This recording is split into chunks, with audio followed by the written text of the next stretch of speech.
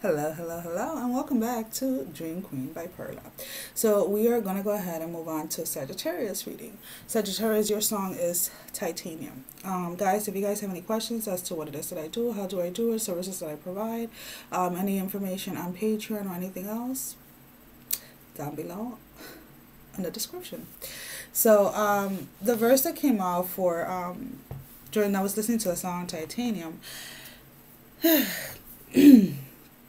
um, for Sagittarius is um, you shoot me down, but I won't fail. I am titanium. I, I am titanium. I am titanium. Um, so if we're gonna you know we can look at this and again you know feel free to interpret this message however you want whether you know you want to reverse the roles whether you want to make this about love um, you know connections with other people connection um, you know with work hobbies whatever it is is your life. Um, i'm just bringing forth the energies that i am sensing. So um, before we get into the the candle and the water someone who feels that they have tried and tried and tried and tried on something, on one particular thing. And, excuse me, the more that they try, the more that they seem to be failing.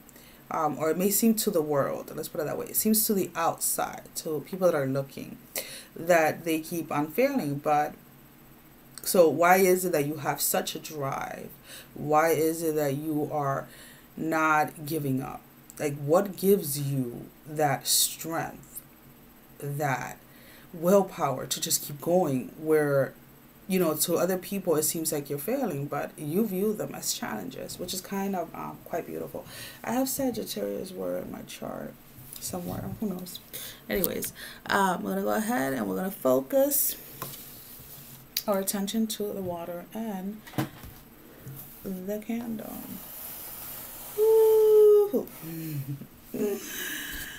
I know I know people are used to the cards and stuff. I will be pulling out at least two oracle cards at the end, so for the advice for the next three to four weeks.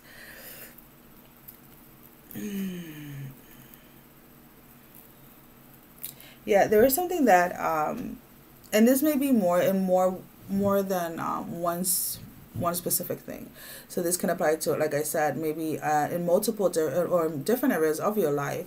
Um, it seems that the more you try to move forward, the more that you try to achieve or accomplish a certain goal, the more that um, you seem to face more and more challenges.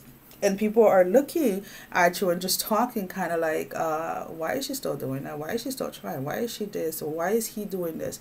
Um, did he not learn his lesson? Why is he? And it's like, it doesn't really matter, you know, whether they're saying, why is she or why is he or whatever it is what what the outside, you know, people that are outside of you do not um, understand is that you have this connection within yourself. You have this awareness, you have this inner knowing that everything that you are currently going through or everything that you recently went through because i feel that a lot of those challenges that you were facing are things from the past and what is coming up now what is coming towards you or what is manifesting right in front of you even if you are not aware of it are all of those blessings all of those, all of those seeds that you planted while going through these challenges. So when we start when we start to look at our situations or the things that are happening around us as challenges as something to be overcome versus something that was either quote unquote done to hurt us or harm us or whatever it is and we don't victimize ourselves we go past that and we know that whatever the current challenge or the most recent challenge that we went through was meant for our growth. It was meant to help us become a stronger individual individual in regards to ourselves. It has nothing to do with anyone outside of you. This is about beating the person that you were yesterday. This is about becoming a better version of yourself. So you continue on getting up, you continue on fighting, you continue on moving forward because you have that inner knowing that this journey that you have currently, this path that you have chosen to take, has nothing to do with anyone or anything outside of you. It has to do with you, with your growth, with your self love, with the things that you yourself want to manifest. You yourself um, are passionate about, are, you know, things that bring you joy, things that bring that smile to your face, things that allow you to just be at peace in general.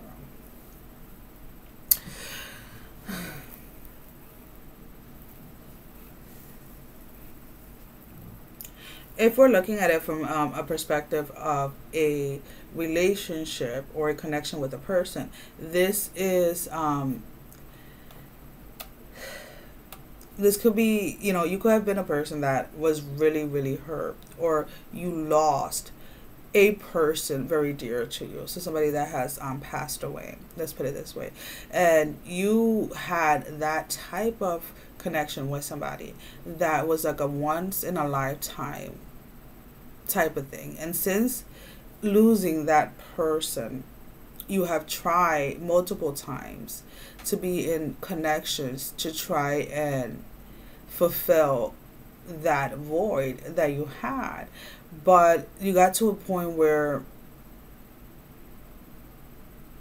you knew or you realized that you were doing it because you were still hurt. So the moment that you decide decided or decide to heal that hurt part of it, then that once in a lifetime type of love walks back into your life. Meaning you meet somebody where is going to oh, like kind of like awaken this part of you that you felt that you had lost when you lost this other person. So and then people are really going to be criticizing like how does she get you know or he gets two soulmates in a lifetime like how you know or three soulmates or whatever it is but it's like it doesn't really matter whether things are going good or bad for you romantically. Let's put it this way. When I was talking about in regards to the soulmates, but let's say that um, if things are going bad for you, it's like those around you, those that are surrounding, those that are looking at you, are criticizing you because you continue on fighting. But then when things starts to go good for you, when your blessing starts coming in, then they're criticizing you because it's like well why does he get it? Why why is he doing this? Why why does he get this? Why does she get that? And it's like you remember what you were criticizing before about you know always getting up um never staying down? That's why i'm getting everything because i never gave up but it's like you're not even in those um you're not even in that space of wanting to to explain yourself or to justify your actions or to even allow other people's thoughts or opinion about you even bother you. It's just like, you know, because I do feel that whomever is criticizing you, you are aware of it because people that are coming up to let you know or people that are coming up to tell you um, are people that are within those groups. And they're bringing forth the information not because not because they care to be honest with you but because they want they want to see if while you are down they can keep you down. Now there is constructive criticism. Uh, so where if we're in a workplace and you know at my uh, most recent job as a nurse my supervisor was amazing um, in my opinion let's put it that way because everybody has their own opinion but to me, she was a fair. She no longer is. Um, she actually left before I did. She retired. Um, to me, I always view her as a fair supervisor. She was someone that could always be approached, someone that will would listen to what you have to say. And so when she gave, whenever she would criticize, let's say, if she had anything to criticize what uh, that I was doing, it was always done right in front of my face even though I wouldn't call it like criticism, but you know, I'm just using this as an, as an example. But whatever, let's say if she had any issues or anything with what, what I was doing or how I was doing it, or if she felt that I didn't really understand what I was supposed to be doing, she literally will come up and speak directly to you. But you knew because you felt it and you sensed it that it had nothing to do with you as a person. It wasn't not not because she was trying to pick on you or because she didn't like you or this and this and that. It had everything to do with the current position that I was in, the current care that I was to be providing for patients. And so then she would go ahead and I, I loved it because it was always within that facility that I, you know, the office that I worked in, it was always about learning and self growth. So if you ever made a mistake or let's say anybody else made a mistake and you caught it let's say and then you bring it up to some you know to the attention because of the type of work that it was um, was very serious then the answer was never really given to you you're you bringing something up you would be asked you would be questioned like well why? Why why is that wrong?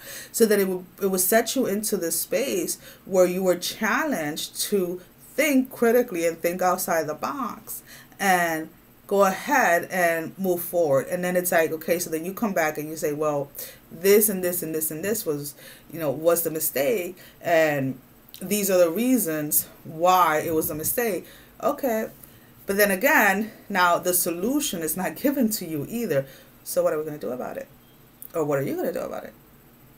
Uh, so you, you're challenged again to go back into that space and process. And then you would come back. And at that point, during the dialogue back and forth, if any, if you missed, let's say, a portion of it, or you missed part of it, whatever it was, then a question or a statement would be made to kind of get your mind to get to that conclusion on its own, on itself instead of them directly giving you the answer.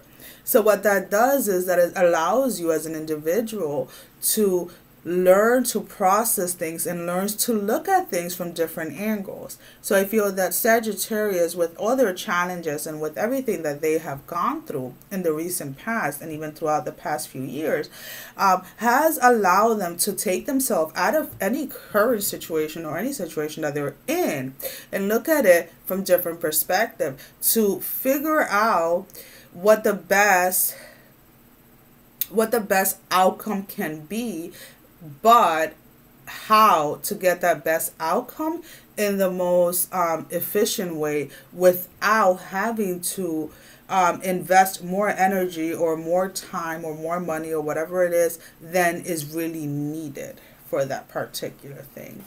And to me, that is actually quite beautiful. So, if we're looking at a relationship, or a connection, it's like, okay, this is what I this is what I desire. This is the outcome that I would like. This is the outcome that I am after. Now, if I know that I am after a particular outcome, let's say I want to be in, in, in an open relationship. I want to be able to be with one person committed, but I want us to, each of us to be able to be with other people. Are you going to go ahead then and start dating people that are against open relationships? No, because they're against it. So why are you going to invest your time and energy with a person that is not does not view or does not is not capable of looking at the perspective that you're looking into it and the same is this and it's also the same that if you want to be in a committed relationship with just one particular person and that person is into open relationships but you are not then are you going to pursue that knowing that the outcome of it is not what you want? So this is what i'm talking about like this is what sagittarius i feel has been working on is at looking at things from different perspective different angles to okay this is a situation this is the outcome that i want. Now how can I get from A to B the fastest or the quickest way without burning myself out, without having to add any additional stress or any additional challenge? And instead of having these huge challenges throughout this current challenge, maybe we can have just like little challenges that I can just overcome fairly quickly and get to my outcome faster. And that's actually quite um, beautiful the high priestess kept on wanting to um, come up. We'll see if it comes up or not.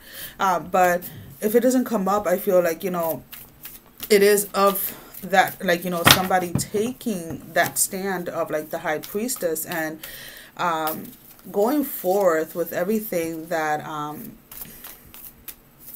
that they that they desire that they have been working for and not allowing um other people to stop them and unfortunately those that try to stop you or those that try to to overcome you if that makes any sense. I don't know why that word wants to come out. Um just cannot cannot understand let alone understand let alone understand what you what you have been doing because they're still fixated fixated on um doing things in like one particular way. Without ever taking the time to look at things or handle things from a different I'm gonna take this one. Um or look at things from a different perspective. So we have the Sholem, Sholem, Sholem, Sholem, Sholem Master be grateful in movement and action. And it's like, ooh, where did it go? See, that thing fell so hard. Let me go ahead and grab it. Hold on, guys. Um, yeah, I've been at this for a while now. So my hands are starting to give up. Okay. So it's like, no matter what, whatever the challenge is, no matter what, the, whatever the situation is, I feel that you handle it very gracefully. You go ahead and you face all the challenges or your fears um, head on. And people notice this, people see this, and there's, you know, it's like they can understand how you can do this. And honestly, the advice when this card comes is just to continue on moving forward and continue on doing what you're doing. Um, even if other people cannot understand it, even if other people cannot see your, your perspective or your point of view, it is not for them. This journey, this path, this whatever it is that you're going through is not for other people, it is for you with the stag is trust and thrive and it's like you are you if you haven't already started to see um, things manifesting or your blessings coming in, which I think that they have already started. I just feel it's like um, they may be coming in like one by one, or like I feel like they've been coming in very slowly and like one by one, but it's like the pace is going to start um, picking up with this um, trust and thrive energy. And then for last, we have the star ancestors. Follow the voice of your soul. And this is exactly what you have been doing. So just stay true to who you are and stay true to whatever it is that you are engaging in, whether it's a relationship, whether it's um, a new job, whatever it is, just continue to follow your soul because your soul is never going to um, lead you astray as long as you are truly connected to what it is that your soul is asking you to go ahead and do. Well, well, well, Sag, that is all the time that I have for you today. Um, I hope that this message resonates with you guys or brings you at least some form of clarity. I will go ahead and see you guys real soon. We're going to go ahead and end it and end this message because someone right here needs a nap. Um, thank you for watching sending all of you some love. Bye bye.